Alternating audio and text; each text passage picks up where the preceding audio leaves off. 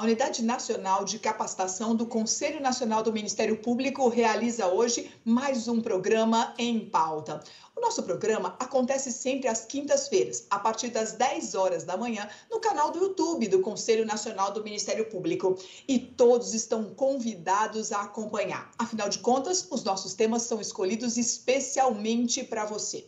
São temas que interessam ao Ministério Público, interessam à magistratura, interessam à advocacia, mas também interessam a toda a sociedade. Então, todos estão convidados a acompanhar o nosso programa de hoje, bem como os programas anteriores, que também estão no nosso canal do YouTube. Então, todos convidados.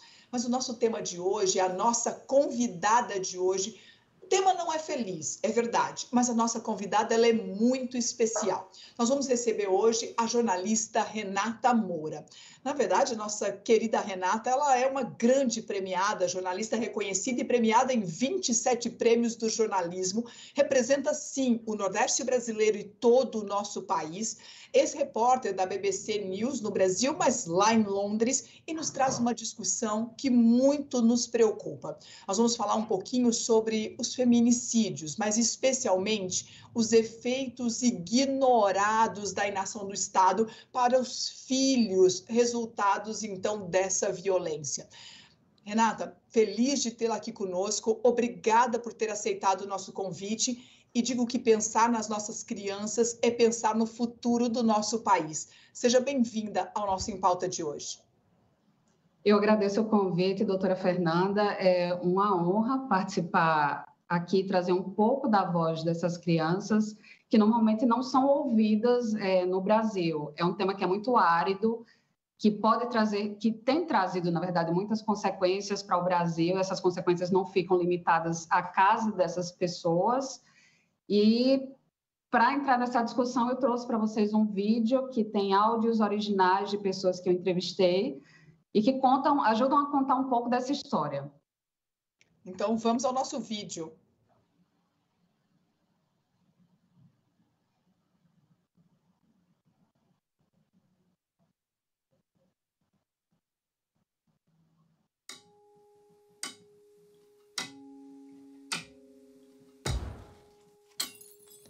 A surra que ele dava nela, sempre quando usava droga, ou seja, quase todo dia. Todo, todo dia. A hora que começava, eu e meus irmãos se escondiam debaixo da cama. Ele xingava, tudo quanto é nome. Eu e minha mãe. meus irmãos e minha mãe. Uma vez, ele colocou o revólver na minha cara. Ele me ensinou a atirar. Hoje eu, eu, eu aprendi a atirar com ele. Eu e meus irmãos assistindo Jasper. E eu escuto uma, uma, uma discussão. Quando eu vou lá, meu pai tá com uma arma na mão. Ela confronta meu pai, ela começa a xingar meu pai com a arma na mão. Aí ele pega e dá, dá um tiro nela, ela cai. Aí ele chega perto e dá outro tiro nela. Quando ele veio, já veio com o martelo em cima de mim, ele deu na minha testa. Eu já tava tão é, amortecida já que eu não senti nada, nada, nada. De tanto ele me socar, eu já não sentia mais nem dor. Aí meus filhos que olharam para mim, né, menorzinho disse assim, desesperado, ele disse assim, a mamãe vai morrer. O papai deu com o martelo na cabeça dela. Aí foi quando eu passei a mão na minha testa e disse assim para ele, olha o que você fez você acabou com a minha vida. Ele sentou na cama e começou a conversar com ela. E ela disse: é, Eu preciso que você dê as coisas ao menino, Chico. Então ele disse: Gerlândia, me tire da justiça. É a última vez que eu falo. Ela disse: Não. Depois disso foi um silêncio de três segundos e de repente ela começou a gritar um grito abafado, como se eu tivesse com a mão na boca dela, pedindo socorro eu levantei primeiro e fui até o quarto. E quando eu cheguei lá, ele estava terminando de esfaquear ela e jogou ela praticamente nos meus pés. Metade do corpo dela ficou para dentro do quarto, metade para fora, muito sangue jorrando e eu vi ela morrendo na minha frente. Eu acho que a última imagem que ela viu foi eu olhando nos olhos dela. Eu vi a vida saindo dos olhos da minha mãe, literalmente. Hoje eu entendo o, o porquê se cuidar dos órfãos. Porque ninguém olha por um órfão. Ninguém. A sociedade julga. Eu fui chamado de louco. O grande apelido que me doía é Manuel Loucura. Isso me doeu muito. Por conta do que eu vi, por conta das minhas respostas às agressões na escola eram tão fortes que eu tinha crises de ira. É porque a gente perde a inocência. A gente só conhece isso, a maldade. Então eu falava que eu não posso fazer nada hoje, mas quando eu crescesse eu ia matar ele. Você acaba vendo seu pai em outras pessoas, e é onde você pode até ferir pessoas inocentes. A gente nunca passou por psicólogo, psiquiatra, nada, nunca passamos por nada disso. Nunca recebi um apoio psicológico, nada. Meu pai devastou a nossa vida, sabe, por causa de ego. Porque os amigos dele falavam que, que minha mãe traía ele, que não sei o que tem, e ele foi lá e fez isso não pensou no que ia acontecer. Hoje eu perdi um irmão que eu não sei aonde ele está. Eu tive um irmão que morreu ano passado em um acidente aqui. Eu tenho hoje um irmão preso. O que me mantém de pé é, é só minhas filhas. Eu me considero, às vezes, um, um zumbi ambulante. Eu tentei me matar, sabe? Eu desisti. E a minha filha mais velha é que acabou me salvando. Eu falo que ela me salvou. Teve um tempo que eu disse e se eu continuasse com ódio no coração, eu ia me destruir. E aí entrei numa depressão, duas tentativas de suicídio. Então, eu fui atrás da minha cura. Eu tenho fé em Deus, assim, que Deus vai tratar na, na mente dele, né? Que vai tirar tudo isso né, do pensamento dele. Porque ele ainda é criança, né? O que ele pede, assim, eu faço para ele, já para ele esquecer. Ele pediu para mim botar ele na escola de futebol eu procuro assim ocupar a mente dele o máximo que eu posso. Quando uma mãe morre e deixa filhos, você pode ter certeza que não é uma morte, são várias, cara.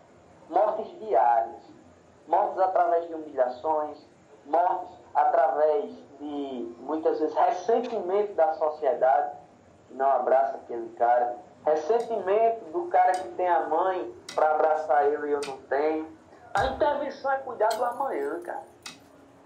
A intervenção é cuidado para não haver novos feminicídios em rodas de significação de masculinidade. Eu acho que essas pessoas vão passar o resto das suas vidas tendo que catar os próprios cacos.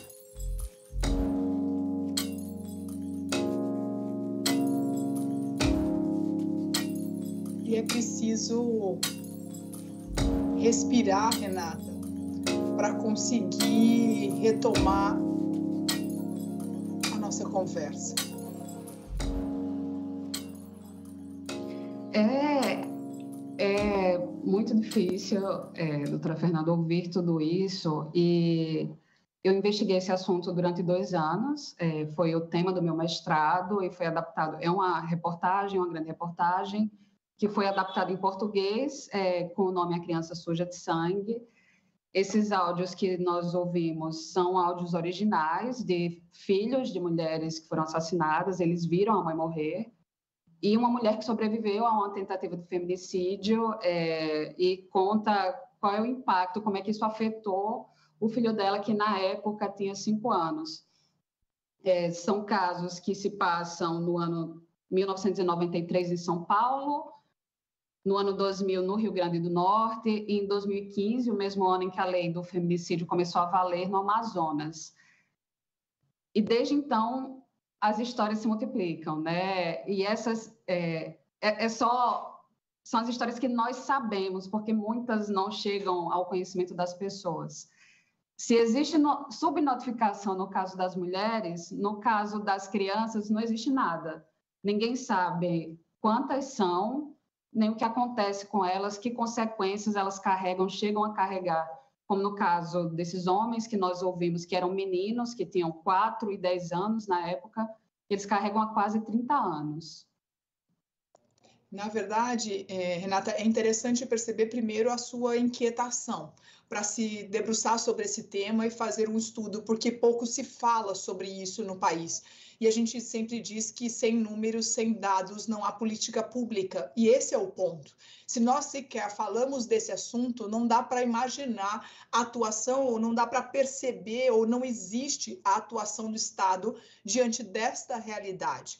E nós estamos falando, como você disse, eram crianças, mas hoje são homens e têm suas famílias estruturadas com base nesses sentimentos, porque sequer tiveram o direito de falar sobre isso, sequer tiveram o direito de discutir ou de ter um apoio para enfrentar tudo isso. Então, quantas dores são perpetradas e quantas doenças são criadas nessa história dessas famílias. Então, primeiro, parabéns né, pela dedicação a esse trabalho. A gente fica muito feliz de saber que as pessoas estão preocupadas e que precisam debater e assim lhe agradeço de forma assim ainda mais forte a sua presença no nosso encontro de hoje para trazer esse assunto que preocupa tanto. Mas, Renata, quando a gente fala desse cenário, o que no trabalho é chamado de inação do Estado? Quais são as falhas do sistema que, identificadas nesse seu trabalho, poderiam ser superadas pelo Estado? Né? O que o Estado precisa, na verdade, na sua pesquisa, é, realizar de forma urgente? Né? É urgente, é para ontem esse tema. Olha, doutora Fernanda, é, um, um, uma das vozes que nós ouvimos agora é dar uma pista da, do que é mais urgente. O que é mais urgente é evitar que os feminicídios aconteçam, evitar que essas crianças fiquem expostas a essa violência, que elas adoeçam, e uma vez o feminicídio acontecendo, é dar o apoio que elas precisam para conseguir tocar a vida sem a mãe e depois de ter visto todo esse tipo de barbaridade. Então, assim, é, eu ouvi vários especialistas, ouvi filhos, eu ouvi mulher que sobreviveu, e é, eles são unânimes em dizer que os filhos das mulheres vítimas de feminicídio no Brasil, eles são esquecidos, eles são invisíveis, eles não contam. É, existem algumas iniciativas isoladas que tentam sobreviver em meio a muita dificuldade. Então, nós temos alguns casos, alguns exemplos muito interessantes no Amazonas, onde a Defensoria Pública tem buscado essas famílias, tem buscado as crianças para saber o que aconteceu com elas, as crianças dos casos desde 2015, e encaminhar para psicólogo, é, encaminhar para Bolsa Família, para o que quer que seja, porque essas crianças estavam desamparadas. A mãe morreu e elas ficaram desamparadas. É, no estado do Mato Grosso do Sul, a Defensoria Pública também, que é outra exceção é, no meio desse deserto de medidas, de de políticas, é, a, a, Defensoria é, move um procedimento agora, uma investigação, para saber se há negligência do Estado em relação à oferta de apoio psicológico para essas crianças, porque a mulher é vítima de tentativa de feminicídio ou ela morre e o filho dela fica com a família peregrinando na rede pública de saúde sem conseguir ser atendida. E aquela, aquelas cicatrizes, quer dizer, não existem cicatrizes, porque aquilo não se fecha aquela criança ela não consegue curar ao menos minimamente aquilo que ela viveu. Às vezes ela não tem um espaço de fala dentro de casa. É, muitos desses casos acontecem é, em meio a famílias mais pobres e isso acaba até piorando essa situação. Então, assim, a, a inação do Estado é não deixar que o feminicídio aconteça, é deixar que é, é o Estado ter deixado, vir deixando que essas crianças fiquem desprotegidas dentro de casa, é não ter uma política de educação e de conscientização nas escolas para explicar, para plantar essa semente desde a escola, que qual é o papel da menina, qual é o papel do menino, que a menina precisa ser respeitada, que ela não deve ser agredida, é, que qualquer pessoa precisa ser respeitada. É, é você não ter uma rede de apoio para essas crianças quando o feminicídio acontece, é, a defensora pública que eu entrevistei do Amazonas, ela disse que a rede pública, a, a, a rede de apoio só existe até quando a mulher está viva. Depois que ela morre, acabou. Então, é, não existe essa rede de apoio. É ao contrário do que acontece em outros países, como Peru, a Itália, e a Itália, por exemplo, e a Argentina, que tem taxas de feminicídios menores que a do Brasil, é não ter uma lei, um decreto que garanta esse apoio, que garanta apoio financeiro, que garanta apoio psicológico. Isso no Brasil não existe. Renata, na verdade, eu acho que há uma, algumas considerações, na verdade. Primeiro é dizer que nós temos o Estatuto da Criança e do Adolescente, que, em tese, deveria proteger essa criança. Nós temos a Lei Maria da Penha, que tem uma das leis mais modernas do nosso país, que tem mecanismos de proteção da família, mas o fato é que todas essas medidas legislativas, ainda muitas delas, não saíram do papel. E como elas não saíram do papel, nós vivemos dois problemas. Primeiro, falta norma em algumas situações situações, falta lei em algumas situações, essa é a minha percepção. É como você disse, por exemplo, a adequação de uma assistência financeira a essa criança que precisa de um acompanhamento, porque muitas vezes é uma criança de uma família de uma capacidade financeira reduzida e que muitas vezes fica abandonada. Então, quem, quem acolhe, na verdade, é uma outra família que também tem dificuldades financeiras. Então, na verdade, o déficit estatal com relação à prestação dos serviços de saúde, com prestação de serviço psicológico, ela é uma realidade na nossa sociedade de norte a sul, de leste a oeste. Então, veja, eu tenho uma criança que não tem para onde ir, eu tenho uma criança que, quando acolhida por alguma outra estrutura familiar, não tem condições financeiras de receber aquela criança, então eu preciso de mecanismos, inclusive financeiros, para acolher essa criança. Então, eu preciso de leis específicas ainda para esses casos. E quando a lei existe, em algumas situações, em muitos casos ela não foi executada ainda, então ela não saiu do papel, o que faz com que essa criança fique cada vez mais desprotegida. Eu acho que você trouxe um alerta muito interessante, Renata, que é exatamente essa questão da estrutura escolar para receber essa criança. E talvez seja esse um excelente caminho, né? Que a própria escola também ajudasse no acolhimento dessa criança. Claro que a escola não vai fazer o acompanhamento psicológico, mas é preparar as outras crianças crianças para que essa criança seja abraçada, para que essa criança seja acolhida e não viva ainda o bullying que nós assistimos há pouco em um dos depoimentos, né? Além de eu perder a mãe, além de eu viver a violência, eu ainda era tratado como louco mas a minha loucura, digo, o meu desequilíbrio, ele tinha uma causa que nunca foi tratada. Então, acho que é isso que a gente precisa perceber, né? Que as políticas públicas ainda não existem com relação a essa criança, com relação a esse menor. Eu acho que você foi muito feliz quando disse, olha, precisamos buscar as instituições. E eu acho que o Ministério Público também tem esse papel. Que nós temos, Renata, e aqui estamos falando com muitos membros do Ministério Público no Conselho Nacional, nós temos o Ministério Público próprio da criança, que cuida especificamente dessa política de proteção da criança. Então, esse diálogo com essas famílias também é fundamental através dos nossos representantes do Ministério Público, que sem dúvida alguma acontece em várias instituições, em vários membros ou em vários órgãos do Ministério Público em todo o nosso país. Então, é chamar ainda mais esse olhar cuidadoso, né, para que os membros façam então essa proteção, a cobrança das políticas públicas, a necessidade de exigir do Estado que ele institua essas políticas de modo adequado. Então, acho que você foi muito feliz nessa sua consideração, Renata. Agora, vejam só, quando você fez essa análise com relação à percepção estatal, e você ouviu muitas autoridades, pelo que a gente percebe da sua pesquisa, é, quais foram as principais conclusões que você chega a partir dessa sua análise? É, eu acho que, em primeiro lugar, que é preciso existir um grande diagnóstico da situação. Ninguém sabe que situação é essa. Então, eu me debrucei. Eu fiquei dois anos como uma louca, correndo atrás de dados, porque os dados não existem.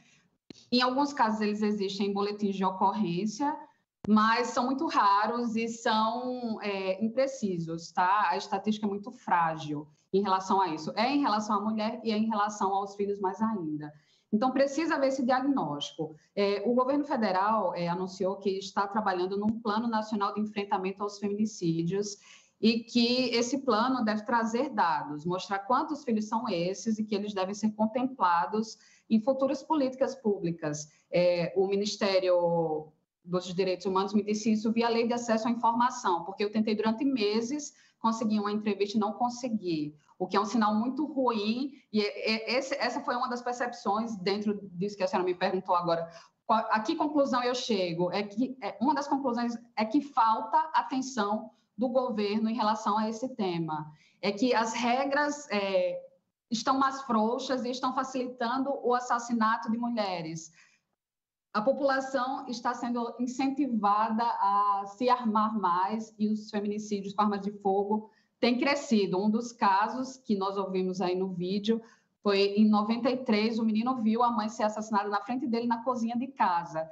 E quantos outros casos não aconteceram desde então? E quantos outros mais não vão se multiplicar por causa disso? Então, assim, precisa fazer um diagnóstico, saber quem são essas pessoas. E esse diagnóstico é, não é só de quantos filhos perderam a mãe, é um diagnóstico também do cara que está na cadeia, porque isso também não é olhado. Quantos homens que estão hoje presos no Brasil, é, eles também foram vítimas de violência doméstica em casa. Quantos viram a mãe ser assassinada e quando cresceram reproduziram a violência? Isso não está sendo observado e isso é um fator crucial é, que eu identifiquei é, ao longo dessa apuração, dessa reportagem, né, de, da minha dissertação do mestrado, e que todos os especialistas que eu entrevistei consideram urgente. Você precisa olhar também para dentro da cadeia. Ninguém sabe daqueles homens. Então, assim, lá em São Paulo, minha investigação mostrou, é, em um dos complexos de penitenciárias, 22% dos homens que estão presos hoje por feminicídio, eles dizem que cresceram em lares violentos e que podem ter visto a mãe ser assassinada também. Quer dizer, quando eles cresceram, eles reproduziram a barbaridade contra as companheiras. E esse foi um dos objetivos do trabalho, saber qual é, é, a consequência no longo prazo. Então, assim, não é só a consequência emocional, a gente não está falando só de uma história triste de alguém que vai passar o resto da vida deprimido e pensando, nossa, minha mãe não estava lá na escola comigo, é, naquela festa, sabe? Minha mãe não vai ver minha formatura. Não, eu estou falando de, também da possibilidade daquele menino que estava dentro da cozinha vendo a mãe ser alvejada ou a mãe ser esfaqueada, ele crescer e matar alguém, matar a própria companheira porque para ele, na verdade, se tornou uma conduta natural, eu diria. Não é, não é normal, claro que não é natural, mas é o que ele vivia todos os dias. Então, a tendência de se reproduzir, nós, na verdade, copiamos os exemplos da nossa trajetória de vida, né? Então, a tendência dessa criança reproduzir algum tipo de violência, ela é muito, muito é, possível. Então, é preciso sim, acho que é importante a sua constatação. Primeiro, nós precisamos cuidar, sim, dos dados. Nós precisamos ter dados de feminicídios, isso nós já começamos a construir, quer dizer, essa semana, inclusive, recentemente nós tivemos uma discussão, inclusive no Conselho Nacional do Ministério Público, com relação ao formulário né, de padronização desses dados, para que a gente possa ter a, ah, efetivamente quantas mulheres estão morrendo nessa condição. E, para além disso, nós precisamos sim acompanhar essas crianças, porque nós não sabemos para onde elas vão, nós não sabemos com quem elas vivem, e nós não sabemos se elas estão em condições de manter a sua própria vida. Então, na verdade, é preciso ter esses números números, e isso não me parece acontecer de uma forma geral no nosso país, apesar de ter uma política uh, de preocupação com as crianças que foi construída desde o código, desde o do, do, do, do ECA, né, do Estatuto da Criança e do Adolescente, mas eu percebo que isso vem apagando, vem desaparecendo e nós precisamos incrementar e não diminuir a incidência de proteção para essas crianças. E você colocou também, Renata, a questão da preocupação com o autor do fato. O autor do fato ele precisa ser tratado, ele precisa ser diagnosticado, ele precisa ser uh, colocado na sociedade em condição até de reassumir os seus filhos, até em condição de, de, de se envolver num novo relacionamento, de ter uma condição de vida. Então, é preciso cuidar também dessa informação que pouco é estruturada. Mas nessa sua trajetória, Renata, acho que muitas histórias uh, você ouviu. E sem dúvida alguma, algumas marcaram mais a sua pesquisa. Se você pudesse identificar aquilo que mais lhe chamou atenção nessa sua investigação, o que, que você é, percebe assim, olha, essa aqui eu não vou esquecer jamais. Eu, na verdade, acho que é difícil esquecer qualquer uma delas, Renata, mas eu penso que uma marcou ainda mais a necessidade de se preocupar com esse assunto. Olha, é, não, doutora Fernanda não teve a história que marcou, mas um conjunto de coincidências né, ao longo desse trabalho é, foi muito marcante. Cada vez que essas coincidências aconteciam, eram lágrimas aqui. Foram dois anos de muito choro, é, ouvindo o que essas pessoas tinham a dizer. Então, assim, eu comecei a, a fazer esse trabalho, eu morava em Londres, né, eu trabalhava em Londres na BBC e fazia o mestrado, e eu comecei a investigar esse caso pelo Amazonas. E o primeiro contato que eu tive com uma das assistentes sociais é, que virou entrevistada, é, nesse primeiro contato ela disse: Renata, é, eu tenho muito interesse em contribuir com a sua pesquisa, porque minha mãe também foi, minha irmã também foi vítima de feminicídio.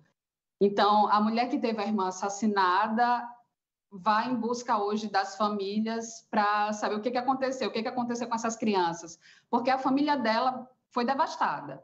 ela foi devastada, as irmãs foram, os, os, filhos da irmã dela, que eram todos adultos, mas nem por isso sentem menos. Eles não viram a mãe ser assassinada, mas eles sentem as consequências até hoje.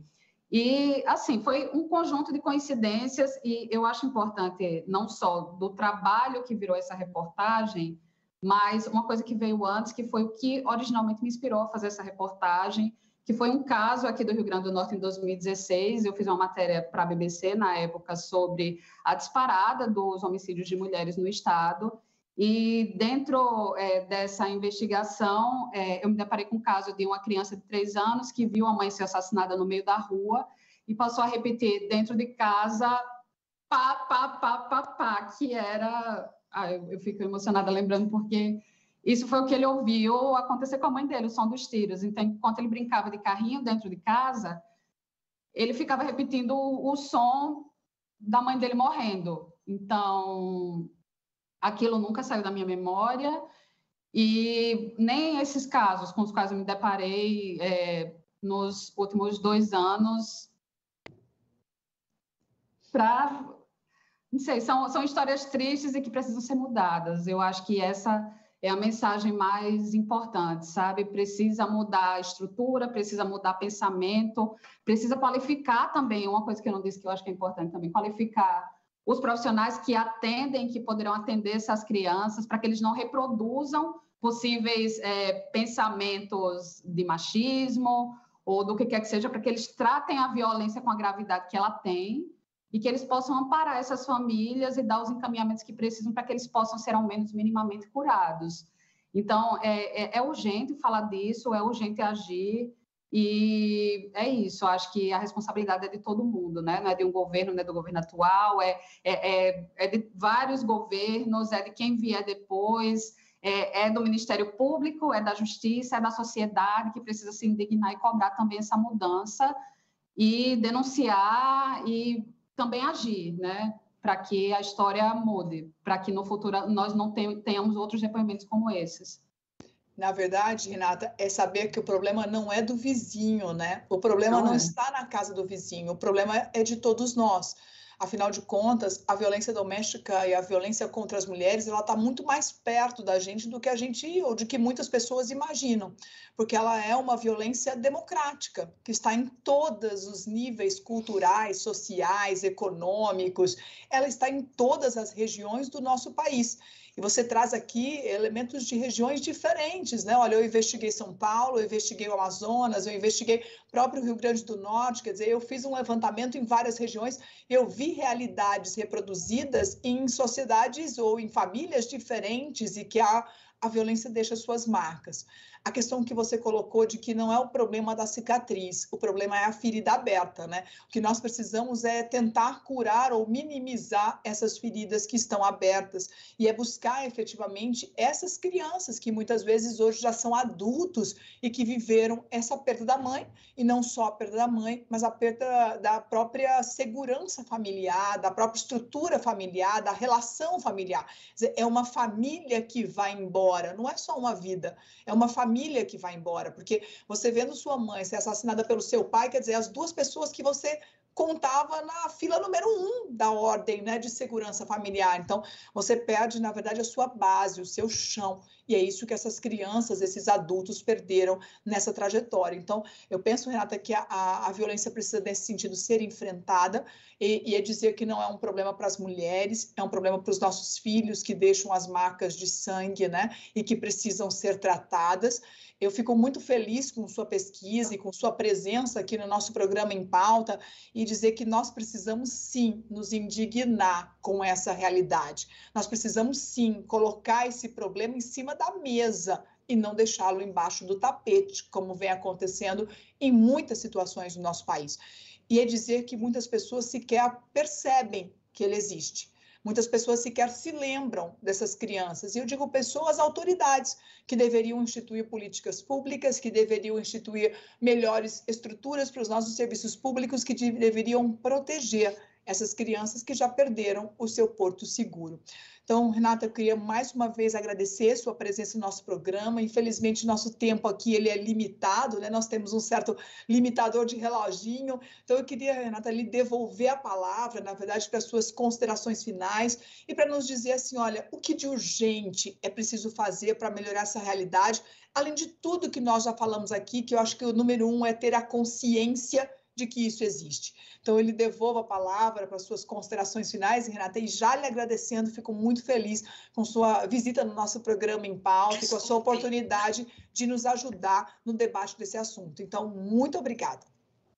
Eu agradeço muito. É, você falou que muitas vezes esse problem, problema não é percebido, e eu fico muito feliz em saber que o Conselho Nacional do Ministério Público está de olho nisso que abriu esse espaço né, para falar um pouco mais, para detalhar, e, e, tem se movimentado, porque o próprio formulário, né, que vai medir o grau, o risco da mulher sofrer violência, ele pergunta quantos filhos, é, se a mulher tinha filhos e quantos eram. É, eu, eu, participei um pouco do, do, início dessa discussão com o doutor Rodrigo Capês, do, do CNJ, né, em 2019, quando comecei a investigar, e aquilo me pareceu uma ponta de esperança nesse deserto que é o Brasil de dados.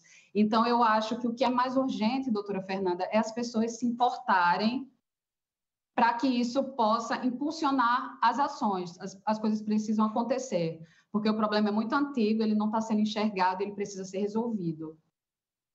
Então, queria mais uma vez agradecer à jornalista Renata Moura pela sua contribuição no nosso programa em pauta de hoje, que trouxe um tema tão importante, tão caro para todos nós, que é a proteção da nossa família, que é o futuro do nosso país, é a proteção das nossas crianças, é a proteção dos nossos filhos que precisam sim de cuidados especiais, quando no caso de violência isso ainda aumenta mais. Então é nossa responsabilidade com o futuro do nosso país.